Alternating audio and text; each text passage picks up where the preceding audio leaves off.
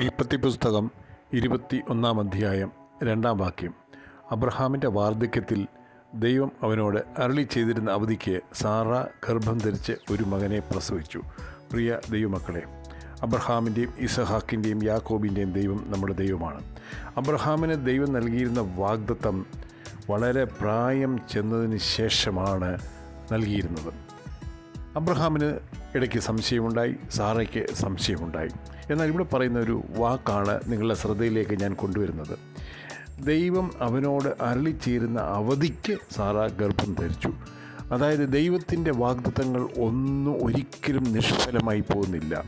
ദൈവം നമ്മളുടെ പ്രാർത്ഥനയ്ക്കും നമ്മളോട് ചെയ്തിരിക്കുന്ന വാഗ്ദാനങ്ങൾക്കും ഒരു അവധി നിശ്ചയിച്ചിട്ടുണ്ട്. ഇന്ന് സംഭവിക്കേണ്ട ഇന്ന് ഉത്തരമരളേണ്ട ഒരു വിഷയമാണെങ്കിൽ ഇന്ന് ഉത്തരം ലഭിച്ചിരിക്കും.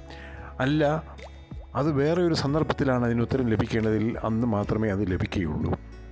ദൈവം അബ്രഹാമിനോട് പറഞ്ഞ വാഗ്ദത്തം ദൈവം അവധിക്ക് വെച്ച നാളിൽ നിവൃത്തിയായി.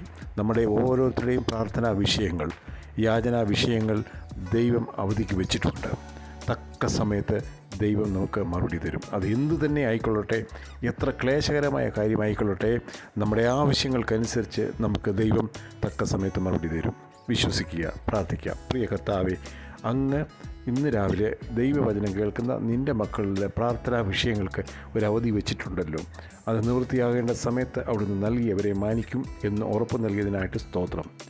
യേശുവിന്റെ നാമത്തിൽ തന്നെ ആമേ വീണ്ടും കൂടി വരാം. തിരുരക്തം നമുക്ക് കോട്ടയായിരിക്കട്ടെ. God bless you.